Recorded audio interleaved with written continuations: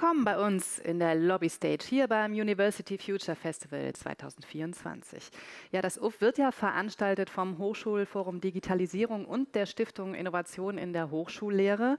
Und die Stil als Veranstaltungspartner äh, ist also mit dabei. Und ich freue mich, dass wir jetzt hier einen Slot haben, wo wir ähm, mit einem Kollegen des Stil sprechen können. Ähm, eines der fachlichen Teams bei der Stil ist der Bereich Wissenstransfer, wo sichergestellt werden soll, dass die vielen innovativen Ideen, die an den verschiedenen Standorten produziert werden, nicht einfach so verpuffen. Und mit dem Leiter dieses fachlichen Teams spreche ich jetzt. Und wir wollen sprechen über das Thema, wie die Stil mit Wissenstransfer Knoten lösen will. Und ich freue mich sehr, dass ähm, bei mir ist Ivo van der Berg. Hallo. Habe ich den Nachnamen richtig ausgesprochen? Van den Berg. Also Van den Berg, ja. okay. Niederländisch wahrscheinlich noch anders. Aber, ja. Okay. Ja, und äh, du hast mir was mitgebracht. Ich habe dir Knoten mitgebracht. Knoten, genau. erzähl. Also, ne, so, also wir haben, ähm, glaube ich, alle irgendwie so, das kennen wir ja, so Herausforderungen. Wenn wir innovative Gestaltung machen, dann müssen wir fragen, wo müssen wir eigentlich anfangen?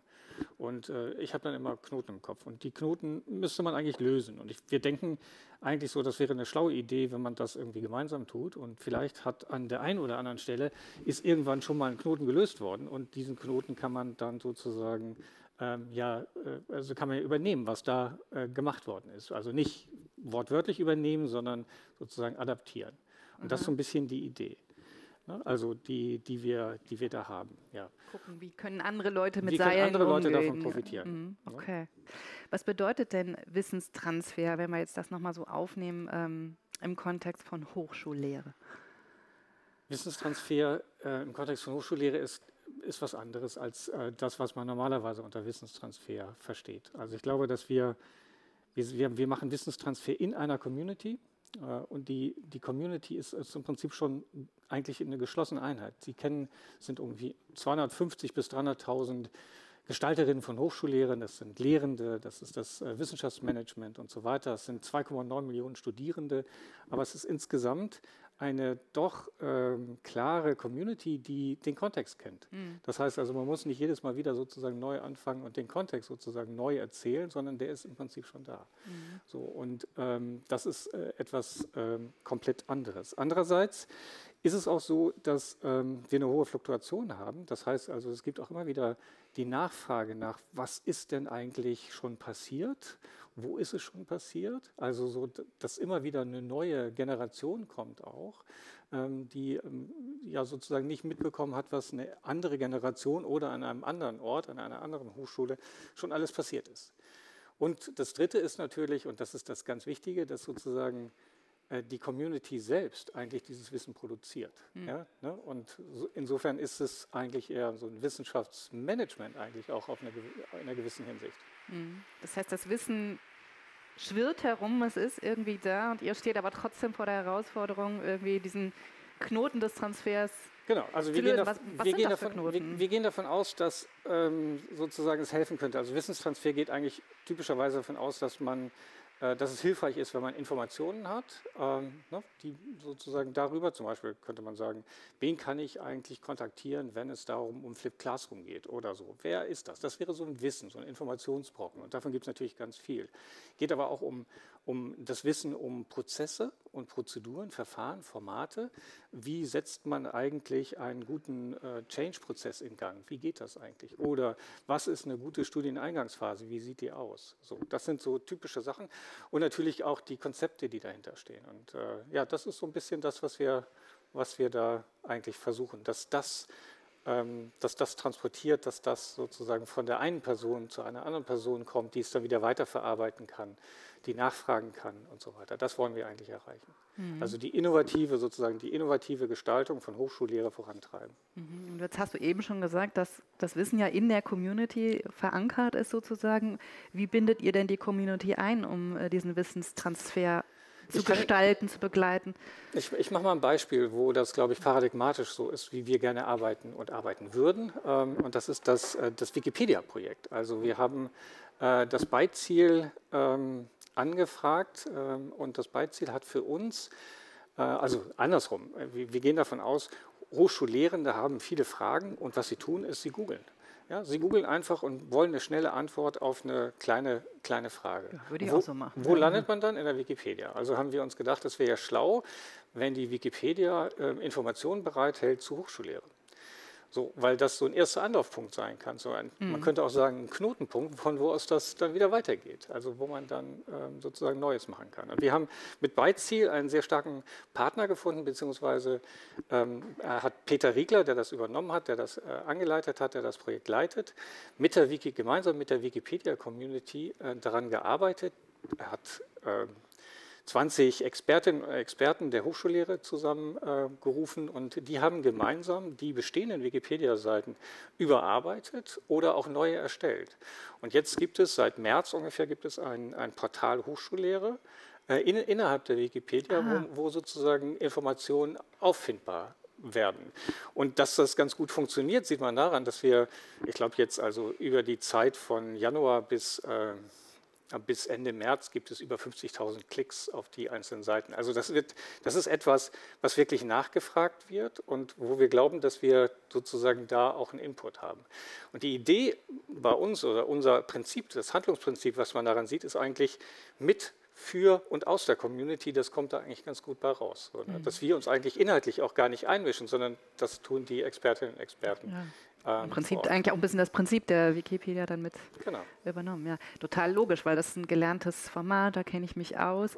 Und da kann ich dann äh, einfach auch suchen nach, keine Ahnung, äh, KI in Prüfung oder was? Äh, genau, also ja. zum Beispiel nach spezifischen Formaten, nach Vorlesungen kann man suchen, man kann aber auch nach spezifischen ähm, didaktischen Ansätzen suchen, dass man sagt, so, ähm, wir haben hier ähm, zum Beispiel Decoding the Discipline, wenn man nicht weiß, was das ist, aber das Wort mal aufgeschnappt hat, dann findet man dort die, mhm. die mögliche Antwort und so. Das ist, äh, das ist eine ganz gute Idee. Das ist aber nicht alles, was wir machen. Ja? Das dachte ich hier.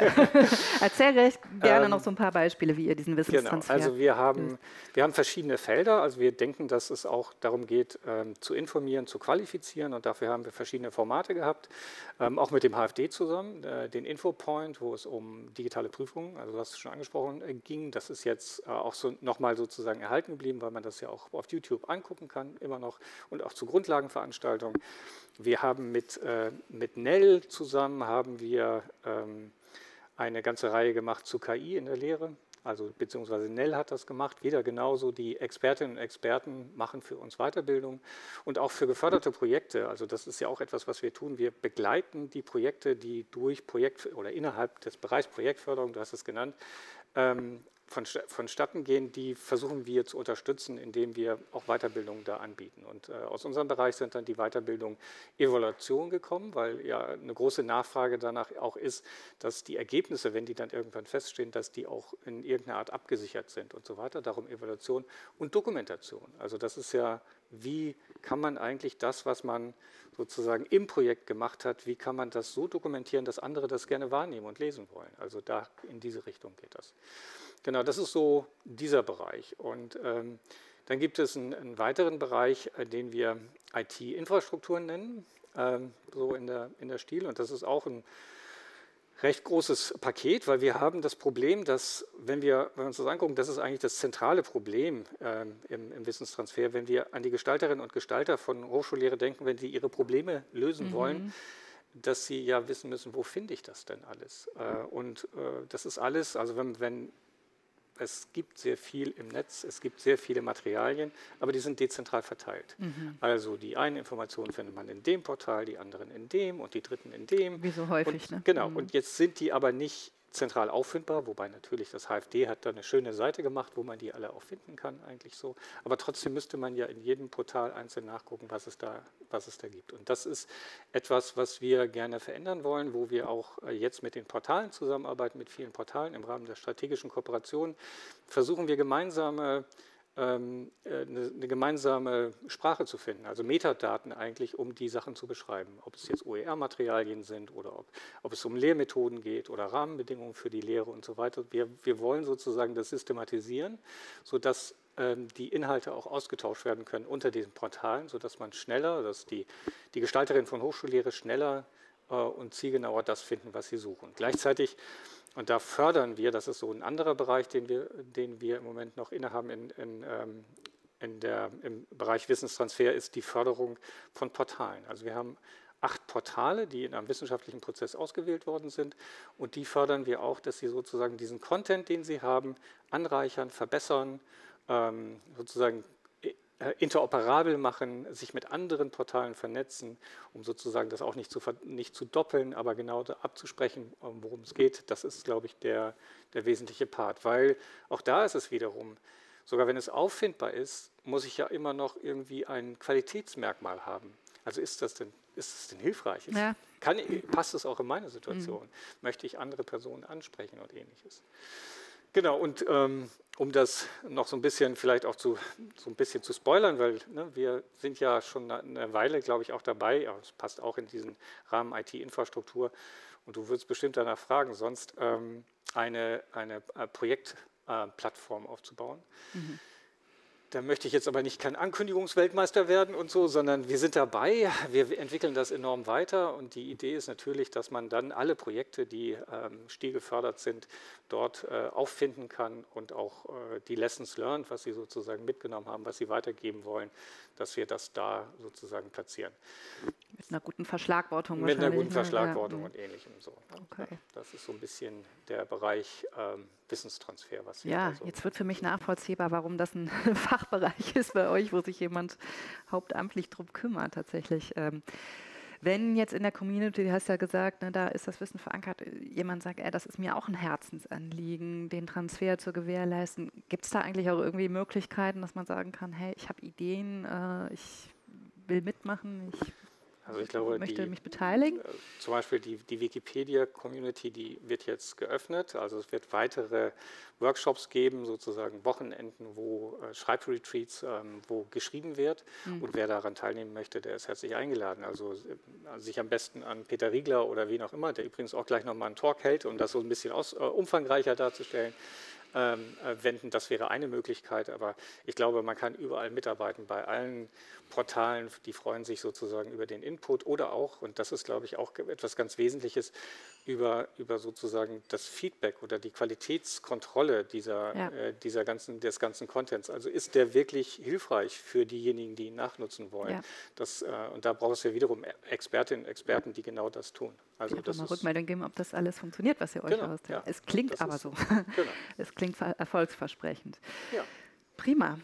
Vielen Dank, dass du uns Sehr ein bisschen gerne. einen Einblick gegeben hast, wie ihr zusammen genau. mit der Community die genau. Wissenstransferknoten lösen möchtet. Und idealerweise. Sollen wir jetzt das da noch aufdröseln? Das, oder? Ja, das können, ja. das können wir, das machen wir gleich, aber wir können vielleicht noch mal so sagen, dass sozusagen diese Projekt, das Projekt, die Projekteplattform, dass die sozusagen die Idee beinhaltet, dass man sozusagen wenn ein Projekt noch läuft, dass man dann schon währenddessen ah. sozusagen da anknüpfen könnte. Ne? Und dann das so ist auch ein guter Ansatz, ja, genau. ja. ja, Also möglichst viel und vielfältig, dass man mit denen gleich, während es noch läuft, auch in Kontakt treten kann. Um, um, sozusagen das so für sich zu adaptieren, für die, für die eigene Hochschule, für den einigen Kontext mitzunehmen. Dann hat man hinterher nicht so viel zu tun. Genau, da hat man hinterher nicht so viel zu tun. Aber jetzt wir machen das, das da jetzt trotzdem. Ja, genau, damit du das sauber und ordentlich wieder Aber das machen wir alleine. zurücknehmen Genau, genau, weil du hast da ganz viele Erfahrungen bestimmt. Sehr gut. Im Knoten aufdröseln. Ich bin ganz schlecht in sowas. Aber wir probieren es. Okay. Danke Vielen fürs Dank. Zuschauen. Bis später.